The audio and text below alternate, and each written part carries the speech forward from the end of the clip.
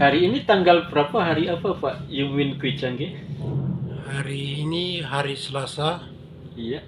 tanggal 14 bulan 3 tahun 2023. Iya. Nah, eh Pak Yumin Kwicange nanti kan kuliah di luar Papua, Iya, Pak. benar? Benar, Pak. Berarti siap merantau ya, Siap, Pak Guru. jauh dari sanak saudara dan keluarga. Siap. Nah, persiapan Pak Yumin apa di dalam siap merantau ke tanah orang lain, ke daerah orang lain? Di tanah orang lain mungkin nanti tidak bisa sembarangan menanam atau tebang-tebang pohon buat kebun kan begitu?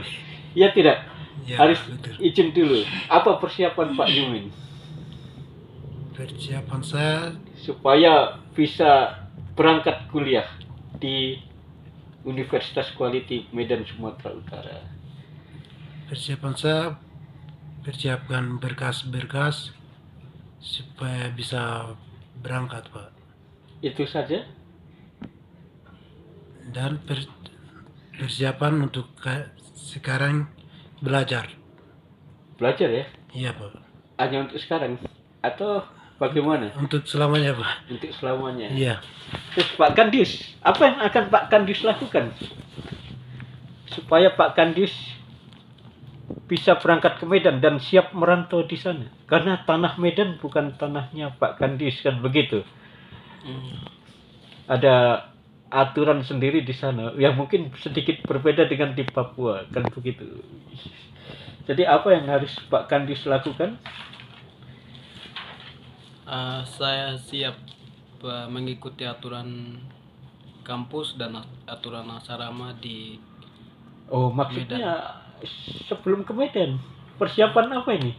eh, sebelum ke Medan. Ya, kan kita belum di Medan. Pertanyaannya kan waktu masih di sini supaya Pak Kandis bisa berangkat supaya saya bisa yakin bahwa Kandis ini memang sungguh-sungguh ingin menjadi guru sekolah dasar.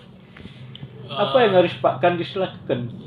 yang, Dan apakah siap merantau? yang pertama saya bisa siapkan berkas-berkas yang eh, terlebih dahulu dikumpulkan ke Pak Guru. Yang kedua saya bisa proses belajar dengan Pak Guru. Setiap hari apa yang Pak Guru ditetapkan jadwal proses belajar dengan Pak Guru. Saya bisa mengatur waktu dan disiplin proses belajar dengan Pak Guru.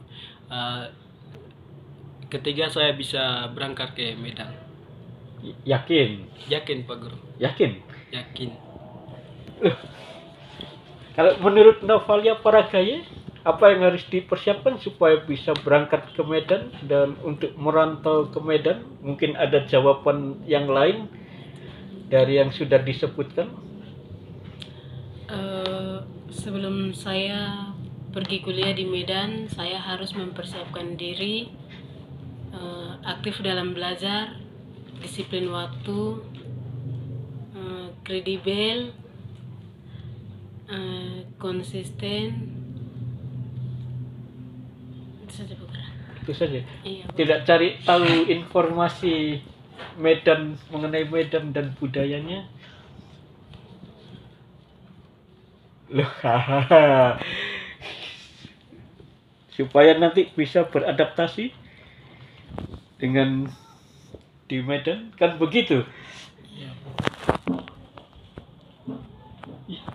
Pak Yumin harus mulai cari informasi mengenai Medan, Sumatera Utara.